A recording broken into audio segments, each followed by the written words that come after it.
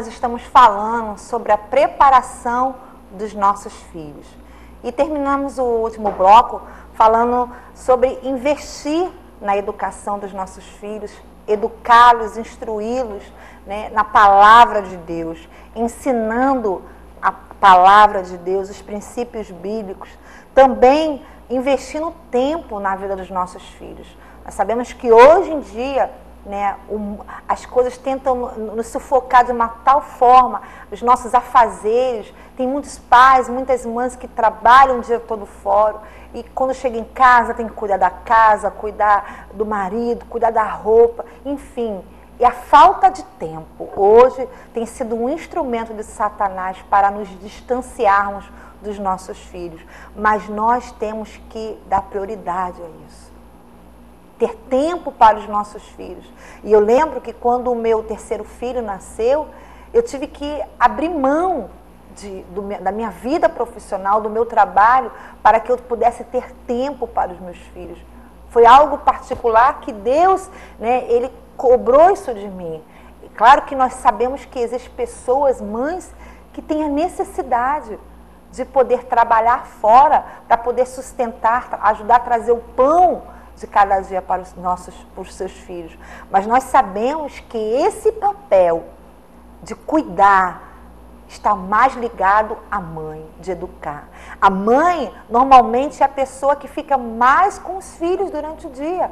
A mãe, ela tem esse papel né, tão privilegiado da parte de Deus de poder educar os seus filhos, de poder ter tempo com eles, de ensinar, de ter momentos de carinho, de amor de beijá-los, de abraçá-lo?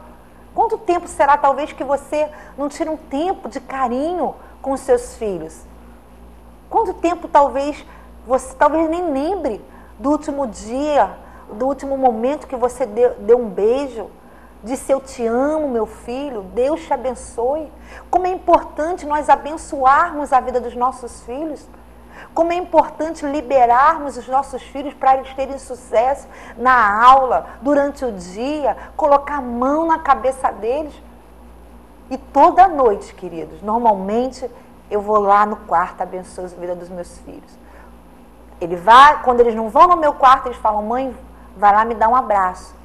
E vou lá dar um abraço, oro com eles.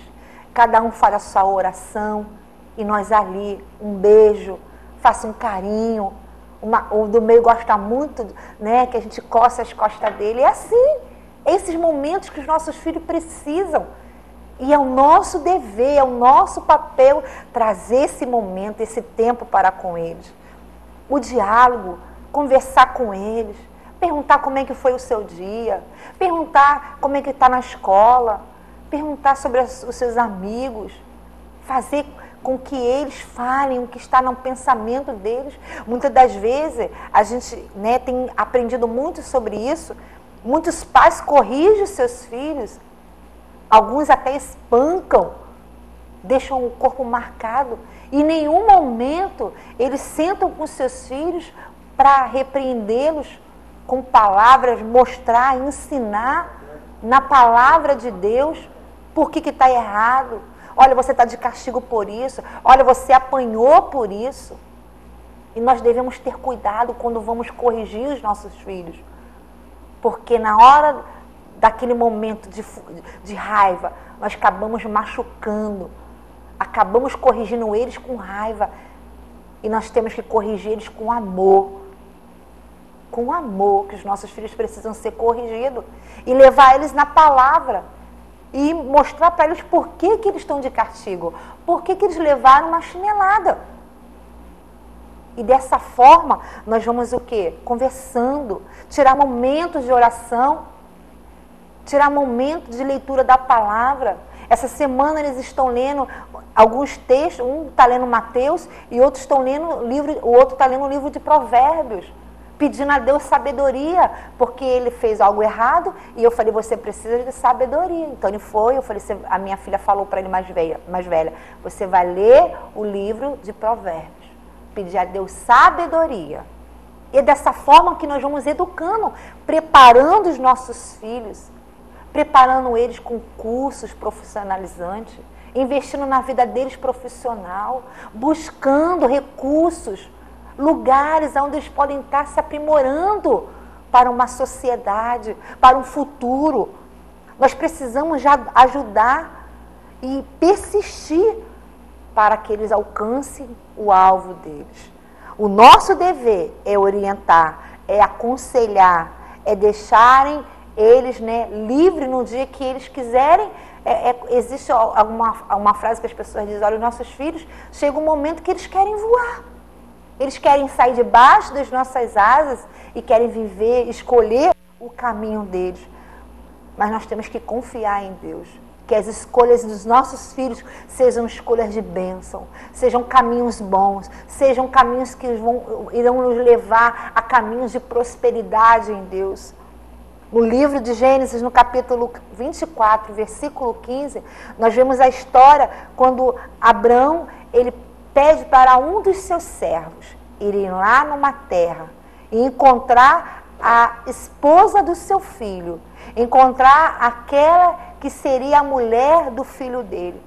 E nós vemos que ele explica né, qual era o propósito dele ali para levar uma esposa para o seu filho, para, para Isaac. Quando aquele servo chega àquele lugar, ele fala: o meu propósito é esse, esse, esse. E eu vim buscar uma mulher, uma esposa para Isaac. E lá no versículo, mesmo capítulo 24, versículo 57, nós vemos que os pais de Rebeca, né, eles ouvem o que ela tinha para dizer, ouve o que ela desejava, qual era a intenção dela, e no final eles concordaram que Deus estava naquele negócio, que aquilo ali, aquele casamento era algo de Deus para a vida dela. Mas eles sentaram com a Rebeca, eles conversaram com a Rebeca, ouviram ela e tiveram discernimento para saber que aquela escolha dela era a vontade de Deus. Precisamos ter esse discernimento dentro de nós. Isso é algo muito importante. Isso é algo que nos faz né, ter firmeza, ter o discernimento profético sobre a vida dos nossos filhos e depois abençoá-los e enviá-los à direção do, do, alvo, para que eles possam ter uma vida né, de abundância, viver o melhor de Deus nessa terra. E eu creio que é isso que você deseja para o seu filho, que ele viva o melhor de Deus nessa terra. Eu acredito que o tipo de atitude que nós devemos ter com os nossos filhos é mirá-los, enxergar o alvo e fazer de tudo para que eles alcance o alvo. No livro de Isaías, no capítulo 49, nós vemos Deus nos tratando como flecha, e ele fala da flecha polida. Preparar uma flecha é um trabalho bem artesanal. Era algo que era feito manualmente, dava trabalho, e muitas das vezes nós temos isso, né? não queremos ter trabalho. Não é verdade? Quantos pais você deve conhecer que não estão nem aí para os seus filhos. Fecham os olhos. Sabe, muitas das vezes até sabe que eles estão fazendo coisas erradas, mas não corrige. Porque dá trabalho você educar. É questão de tempo, mas é um trabalho né, que te dá prazer. Porque quando você vê o fruto, você fala, meu Deus, valeu a pena. Valeu a pena eu investir na vida dos meus filhos, valeu a pena o tempo que eu passei com eles orando, ensinando, ministrando, cuidando, exortando, educando, instruindo. Porque é isso que os nossos filhos vão nos dar. Prazer, muito orgulho. Os nossos filhos serão filhos de honra, filhos que nos darão muitas alegrias. Você recebe essa palavra no seu coração? Não importa a situação que hoje talvez os seus filhos estejam vivendo mas busque em Deus, confia no Senhor, confia no, no plano de Deus para a vida dos seus filhos, porque a palavra de Deus diz lá em Provérbios capítulo 22, versículo 6, e nós já falamos desse versículo aqui anteriormente. Ensina a criança o caminho que ele deve seguir, mesmo quando ele envelhecer, dele não se afastará. Ensinar os nossos filhos no caminho do Senhor. O papel da igreja na vida dos nossos filhos é fortalecer algo, é enfatizar na vida deles algo que é da responsabilidade minha e sua. E nós vemos muitos pais colocando sobre a igreja a responsabilidade de educar, sobre a vida do pastor, de corrigir o seu filho. Muitos não têm autoridade, não têm firmeza, perderam muitos deles a autoridade sobre os seus filhos. Muitos querem colocar né, sobre a igreja esse papel. E a igreja, ela tem como fortalecer a palavra de Deus na vida dos nossos filhos e muitas das vezes as pessoas, elas transferem para a igreja o que é responsabilidade minha e tua como pais e mães. No livro de Efésios, capítulo 6, versículo 4, diz assim: E vós, pais, não provoqueis a ira dos vossos filhos, mas criai-os na doutrina e admoestação do Senhor. A educação ela começa no caminho do Senhor e ela vai se estendendo para muitas outras coisas na vida. Mas começa aqui, ó, desde pequenininho, desde bebê, na verdade, desde o seu ventre. Você comece ali, ministrar na vida do seu filho.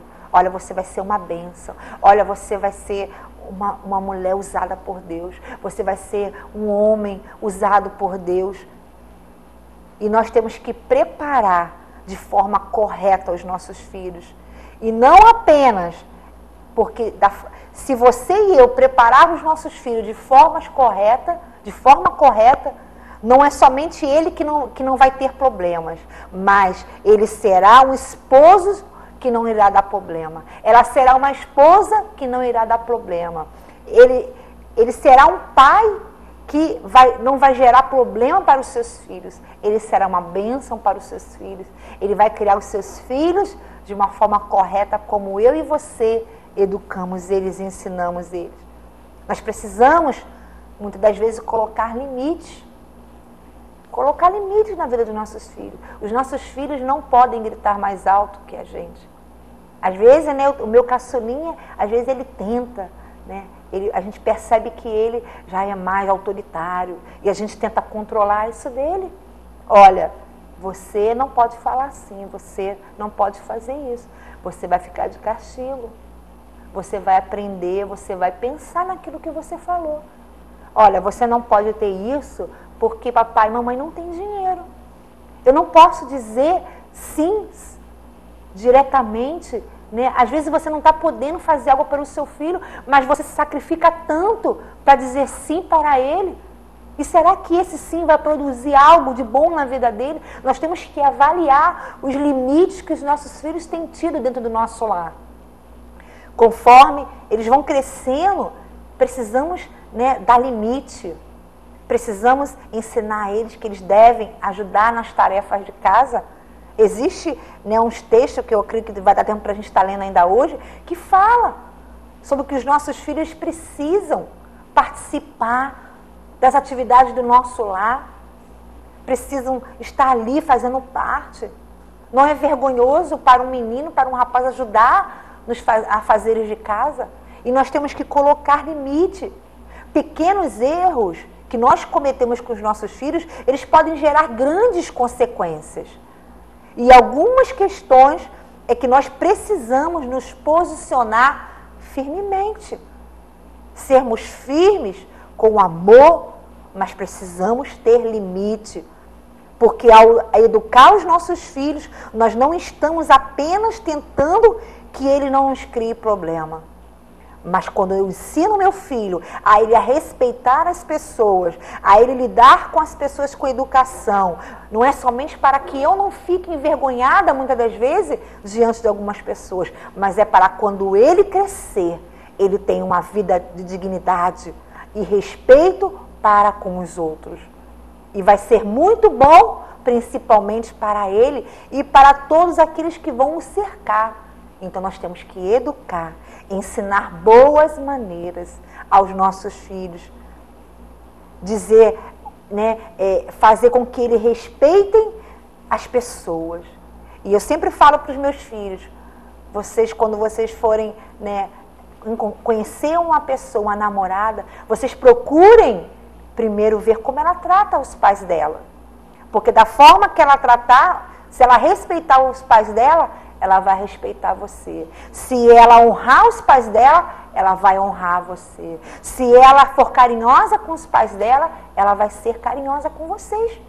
É isso que eu tenho aprendido né, durante alguns anos como mãe, sendo ministrada pelos nossos líderes, pelos nossos pastores, que nós devemos agir assim. E é claro que, que aqueles que não receberem isso não podem ser transformados por Deus e reensinados. Né? É, e todos os nossos filhos, quando nós criamos ele dessa forma, muitos não têm, né, não conseguem ir avante com os nossos ensinamentos. Mas Deus, ele pode reedificar os nossos filhos. Ele pode estar trazendo novamente sobre a vida deles esses ensinamentos. Talvez o seu filho ou a sua filha esteja rebelde, mas Deus pode trazer dentro deles, né, eles podem novamente, eles podem sentir algo dentro deles, a presença de Deus entrar na vida deles através da sua oração, para que eles se voltem aos ensinamentos de Deus, para que eles se voltem aos caminhos de Deus, às práticas que eu e você, como pais, ensinamos a eles. Lá no livro de Provérbios, capítulo de número 10, versículo 5, diz assim: O que ajunta no verão é filho sábio, mas o que dorme na cega é filho que envergonha. No livro de Mateus também, no capítulo 21, versículo 28 ao 31, nós vemos uma parábola que Jesus ele nos conta que um pai pede seus filhos que os ajudem no trabalho da vinha. Os nossos filhos devem ser ensinados e preparados a serem autossustentáveis. Eles precisam, eles precisam estabelecer né, isso dentro deles, que eles precisam trabalhar, se formar para constituir a sua família. Para quando eles tiverem o um momento que eles forem casar, ter a sua família, eles tenham como se sustentar. Não os pais sustentar os nossos os filhos. Lá no livro de Provérbios, capítulo 24, versículo 27, diz assim: Cuida dos teus negócios lá fora, apronta a lavoura no campo e depois edifica a sua casa. Ninguém deve se casar sem ter condições de se manter, de sustentar a sua família. E muitos se casam, né, e ainda ficam dependendo dos seus pais. Quantas famílias nós vemos assim? Não é verdade? Ficam ali sendo sustentado. Isso está errado. Mas Deus, ele estabeleceu um princípio. O homem deve deixar a seu pai e a sua mãe e constituir uma nova família com a sua mulher. No livro de Gênesis, capítulo 2, versículo 24 diz: Por isso, deixa o homem pai e mãe e se une a uma mulher tornando-se os dois em uma só carne. Então, a nossa mensagem de hoje, aquilo que nós aprendemos juntos, aquilo que nós né, fomos edificados juntos, sobre lançar os nossos filhos como flecha na mão do arqueiro em direção ao alvo, nós aprendemos que nós temos que definir o alvo para os nossos filhos. Nós precisamos preparar os nossos filhos para aquilo que Deus tem para a vida deles. E eu sei que é um futuro glorioso. Eu tenho essa convicção do que Deus tem para os meus filhos. Nós vamos estar indo para o intervalo e na volta nós vamos estar orando especificamente pelos seus filhos. Nós vamos estar orando pela vida, pela sua família, orando pelo seu lar, orando para que você tenha sabedoria em Deus, para que nós tenhamos sabedoria e construamos um lar edificado na rocha que é Cristo Jesus. Nós vamos para o intervalo e já voltamos.